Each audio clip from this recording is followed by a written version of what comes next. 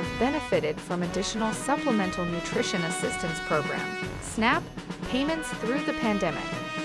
The U.S. declared a public health emergency in January 2020 and authorized emergency SNAP allotments each month as a result. For most beneficiaries, the additional allotment boosted their SNAP benefits by about $100. Less than two days before the emergency was set to expire on April 15, the U.S. Department of Health and Human Services announced a 90 day extension.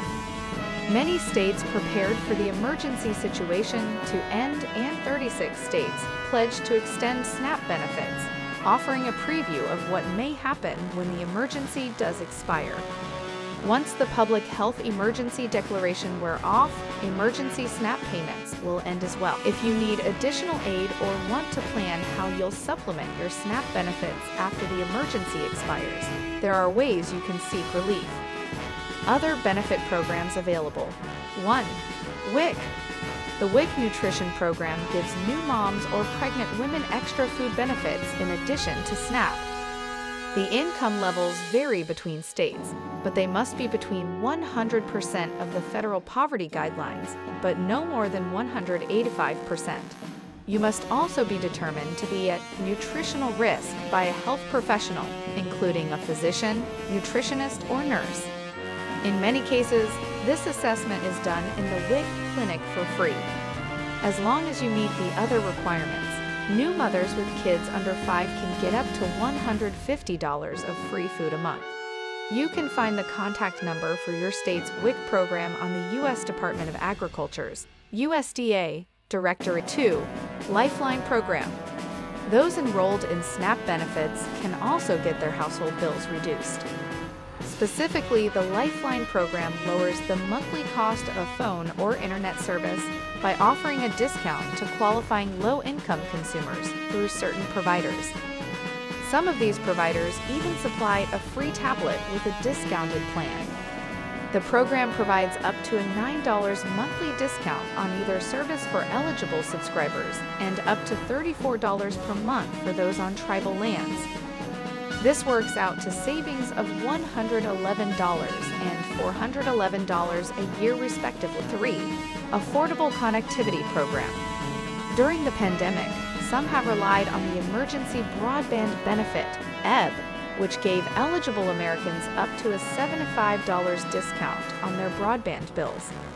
However, that has now been phased out but luckily, there is a new way Americans can save on their broadband bills under the Affordable Connectivity Program. The Affordable Connectivity Program provides a discount of up to $30 per month toward internet service for eligible households.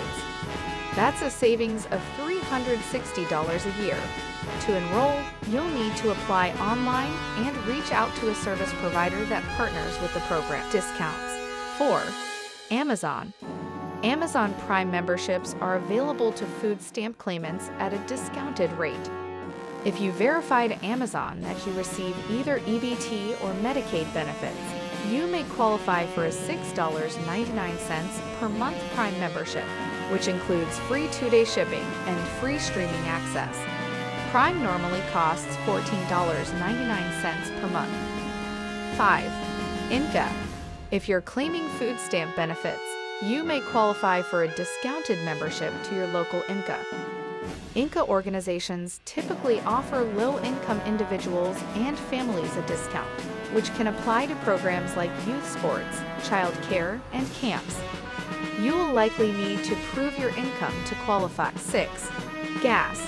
It's been reported from multiple TikTok users that some gas stations offer deals on certain items for EBT card users, resulting in more points. The points can then be used to redeem free gallons of gas. Check with your local gas station to see what deals are being offered and if any purchases can earn your points toward free fuel. 7. Museums.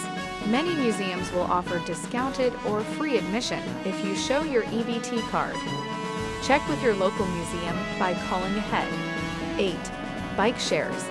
Some bike share programs, including Lime Access and Citi Bike, offer reduced price memberships to those on food stamps.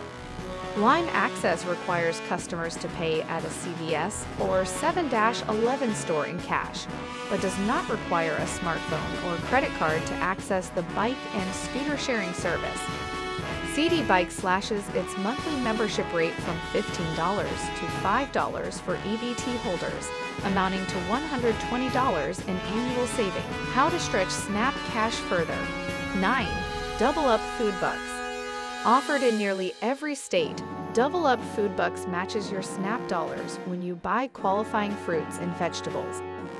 This means SNAP customers will get double the fruits and vegetables.